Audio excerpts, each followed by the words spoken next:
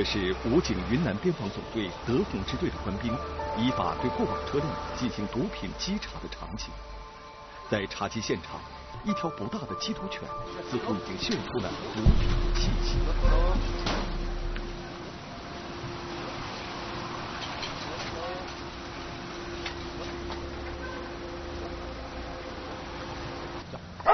好，好，好，走吧。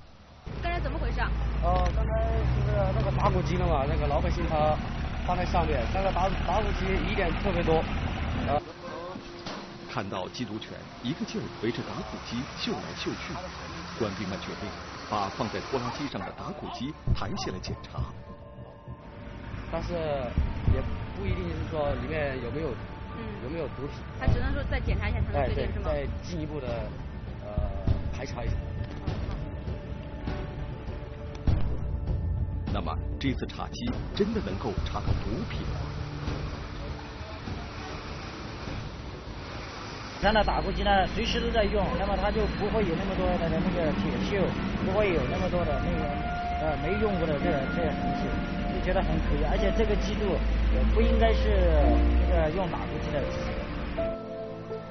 从外表看，这条名叫江浩的缉毒犬并不起眼，它没有威猛的体型，没有震慑毒贩的样子，但它的嗅觉却极为出众。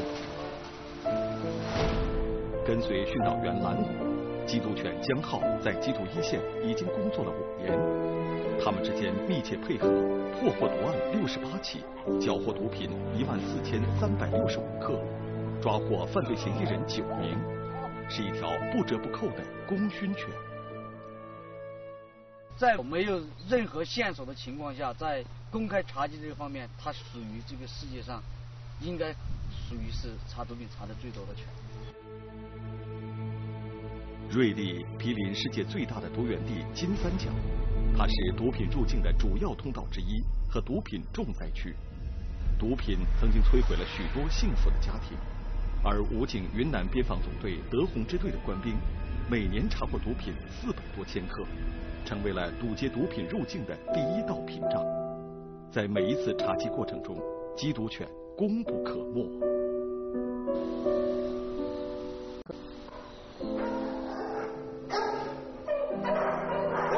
江浩是一条马里努阿犬，犬龄五岁，按照成长周期，相当于人的四十岁年龄。马里努阿犬是比利时短毛牧羊犬，它具有兴奋持久、警觉性高、嗅觉灵敏等突出的警用性能，受到世界各国警方与军队的青睐。而把一条普通的马里努阿犬训练成查缉毒品的警犬，却要历经诸多艰辛。今天让他闻这个毒品的话，他会不会上瘾？呃，不会，主要是因为他这个鼻子嘛，跟人的鼻子不一样，呃，他嗅进去，很很快就可以把它分化掉了。呃，他有就是大脑里面里面有这个意识，我闻到的这个东西，这是我在工作，我闻到了，我达到我的主人奖励喜欢跟他玩，他是大脑里形成一种这种的一种行为模式。江浩每天除了和训导员蓝武到执勤点进行查缉外，其他时间大多是进行毒品搜索训练。蓝武出来，走，报告。走。地下寻宝是一个难度相对较大的训练科目。驻训员将毒品隐藏在鞋垫下面后，又把鞋埋在了土里。为了避免搜索过程中训导员引导江浩，所以。班长就让蓝武和江浩隐藏在了这个草房里面。报告，隐藏完毕。现在他们正在外边隐藏这个毒品，到底藏在哪儿，你也不太清楚，就是你会不会紧张？有有一点，毕竟这个这个地嘛是它是它的面积是有点大，超不过超不过两亩两亩地了。你是担心他搜不到吗？嗯，我是怕他搜是绝对搜得到，我非常相信他。我是怕那个时间可能会长了一点。蓝武，带犬搜索场地。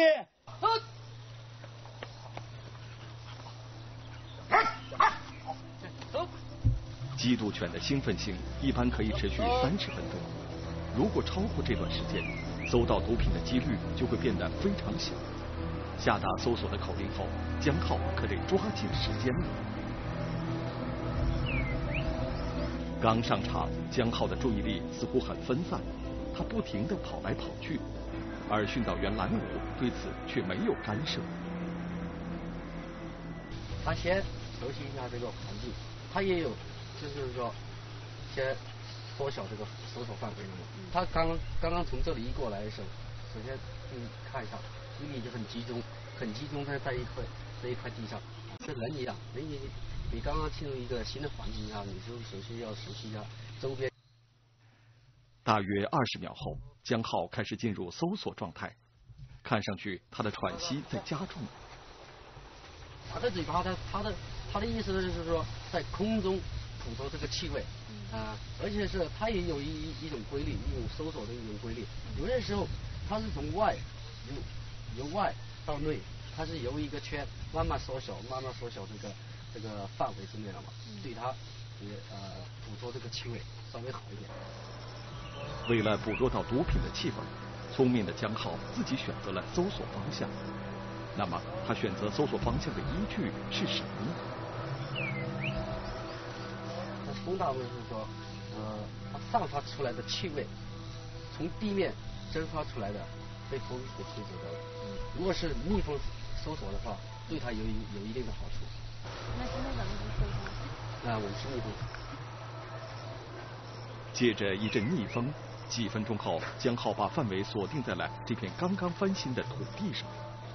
看到这个情况，同样不知道毒品埋在什么地方的训导员蓝武又担心起来。那地面呃烧这些干草，这些灰。啊，风吹过来的时候，这个土里面它也也也也飘起来那种灰尘，也也会呃会飞到他他的鼻鼻子里面，也会呛到鼻子。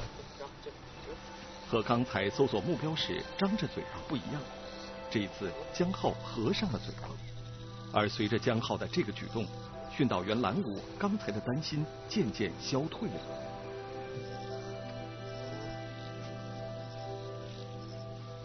发现那个目标，他是要确认这个毒品的位置在哪里啊？他是闭着嘴巴啊，用鼻子或者进去的把它嗅。不一会儿，江浩就成功的将隐藏在土里的鞋子找了出来，鞋垫下藏着的就是毒品。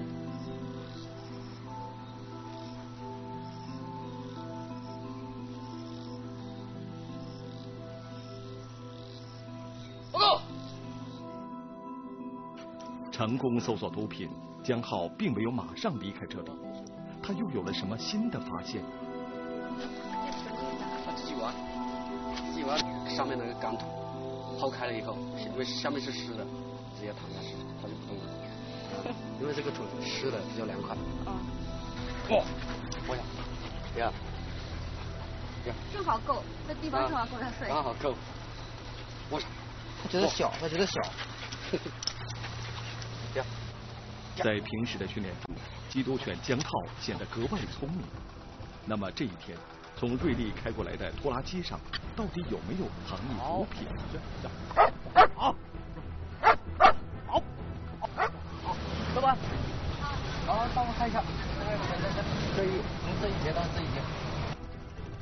看到江浩对打谷机封闭的部位反应强烈。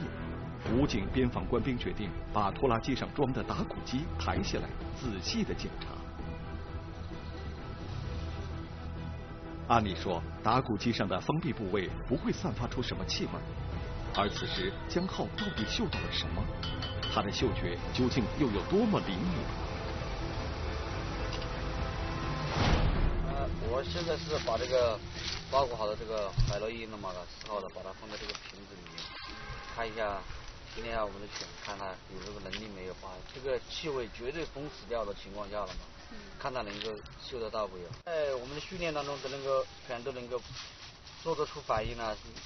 到了实际的工作当中，大气味多的是，随便都可以反应。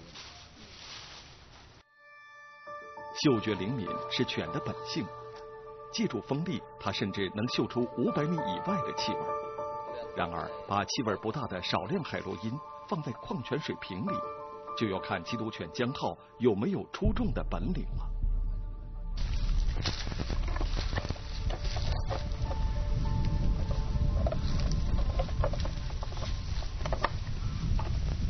这不太好，容易够吧？好够了吧？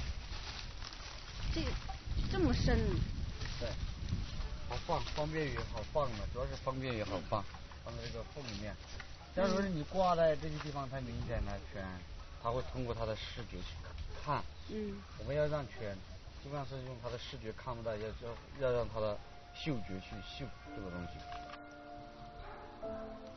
为了充分调动起缉毒犬的兴奋性，搜索前，训导员蓝武特意把江浩最喜欢的弹力球抛给了他。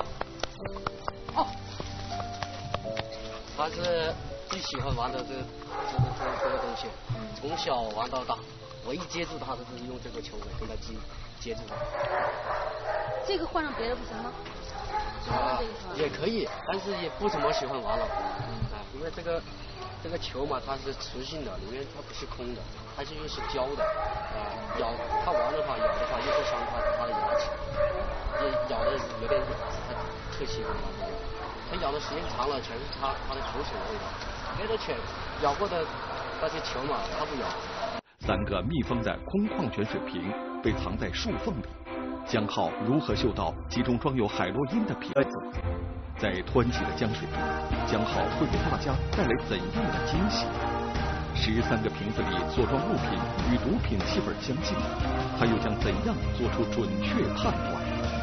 军事纪实正在播出，军中犬霸王。就在江浩的兴奋性被充分调动起来的时候，三个密封的空矿泉水瓶也被分别藏在了三棵大树的树缝里，而其中只有一个瓶子里装有海洛因。实际上，这也是缉毒犬平时的训练课目。按要求，江浩要在五分钟以内准确搜索到装有毒品的瓶子。但对于现在的搜索训练，训导员蓝武却有些担心。它的位置有点高了嘛，这个毒品这个气味散散发出来比较小，而且是现在太阳比较大，比较干燥了，散发毒品毒品气味比较少。尽管搜索难度比平时要大，但搜索口令刚一下达，缉毒犬江浩就冲向了一棵大树，而装有毒品的瓶子就藏在这棵大树上。从江浩的速度和搜索的积极性看，天气炎热对他的嗅觉影响似乎不大。然而，由于毒品隐藏的地方不但高而且深，所以江浩的体力消耗比较大，他的喘息明显加重。天气比较炎热，影响他的嗅觉。今天嘛，我们经过特殊包装，球变得很小，本来那个海南球就很微小了，而且加工那个外面黑胶带包裹着，而且又加上再加上那个饮料瓶的矿泉水瓶，盖子很密封，它气味几乎是透不出来。而仅仅用了一分三十秒，江浩就做出了搜到毒品的反应。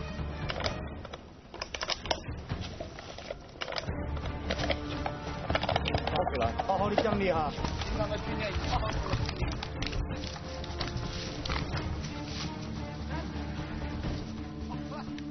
缉毒犬江浩能够快速准确地嗅出装在密封矿泉水瓶里的毒品，而在依法检查过往车辆的实战中，他又是否能够做到准确无误呢？这是什么呀？冰毒，冰毒。苯丙，苯丙基甲烷。拆开打谷机一端的封闭部位，武警官兵最终发现了隐藏在打谷机轴心内部的毒品。以前遇到过这样的一个藏毒的方式？很少。通过这样隐蔽的方式，通过这个逐层啊什么的，那就是那个防止这个毒品的气味扩散，那就尽量隐蔽这个毒品的气味，让我们的那个警犬呢，呃，这个不容易嗅出来。嗯。那么还好，我们的警犬那个今天发挥作用还比较明显，嗯。能够能够查出来这。要是单靠人的话，根本就。单靠人不容易看。狡猾的毒贩在打谷机轴心内部隐藏了两千八百五十克冰毒，这次查获毒品，缉毒犬江浩又立了新功。缉毒犬江浩自小就是由训导员蓝武带大的，他们之间早已建立了很深的感情。如果蓝武不在身边，江浩很难听从其他训导员的指挥。上，上，很累啊，上，行，睡不着，怎么？他在他在找他的训导员，训导员，他不听你的。对，不听话。找找主任。他主任在哪儿呢？在那边。你怎么让他藏起来了呀？要让他藏起来吗？我不叫他藏起来吗？我拉不住，拉拉不动他圈呢。对你叫他主任过来。叫他出来。太好。你看，马上我一放他，他就去了。来来来来来来，过来过来过来过来，来来来来来。他都不他都不理我。还是跟主任亲。肯定的嘛，他是带了好几年了，小几个月大的小狗带到现在。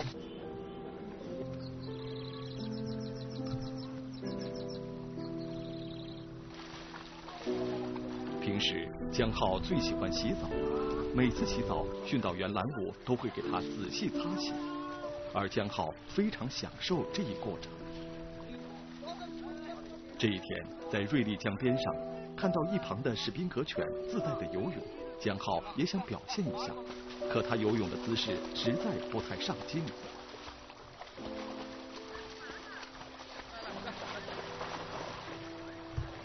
虽说游泳不是江浩的强项，但是他的聪明才智似乎在什么时候都能展现。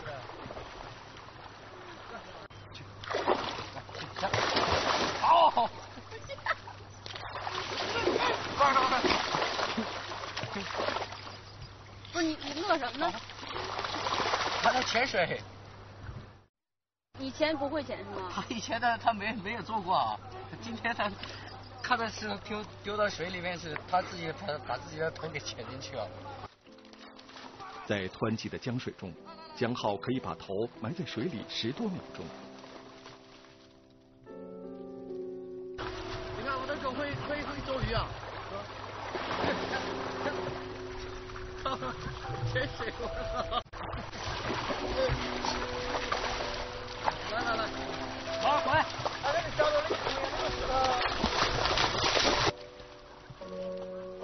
江浩总能出人意料的给大家带来惊喜。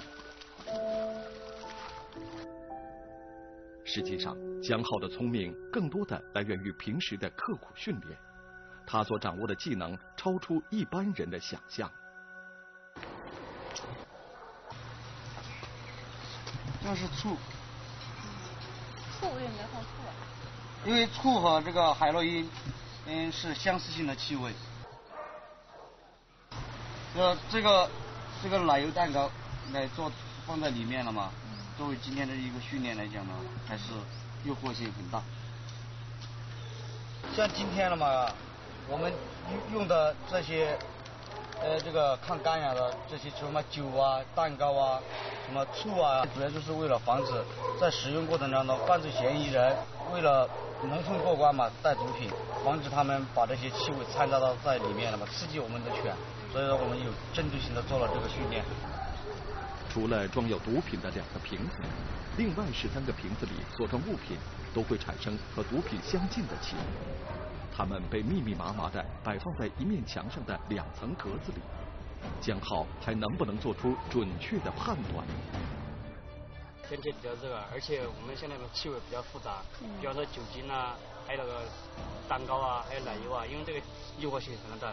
要精确没有很好的分化能力的话，它一般是分化不出来的。而且因为在这个训练中嘛，也是高基础嘛，相对来说相当消耗今天的体力。要想找到毒品，江浩必须站起来搜索每一个格子。第一层格子高一米二，与江浩站起来的身高一样。下达口令后，高度兴奋的江浩一下子就扑了上去。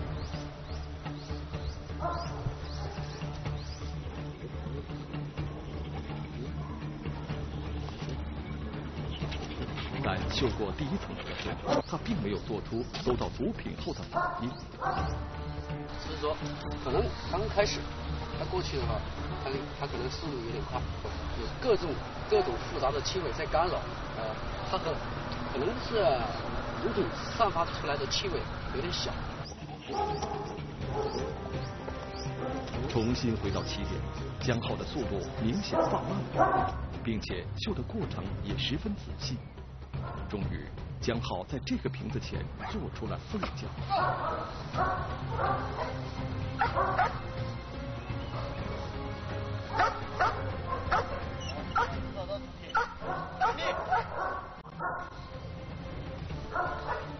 他发现毒品的时候，感觉很兴奋。很着急的那种啊，鼻子闭着闭着嘴巴，穿到那个洞里面去确认重嗅啊，重嗅那个毒品的气味，确认以后，特别是这个尾巴，直接翘起来摇，感觉很高兴那种，很兴奋的那种。另一个装有毒品的塑料瓶被放在第二层壳子里，第二层壳子高一米四，江浩直立还差两厘米。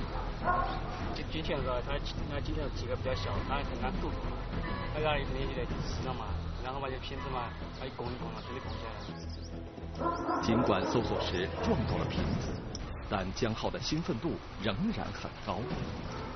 很快，第二个装有毒品的瓶子也被他顺利找到。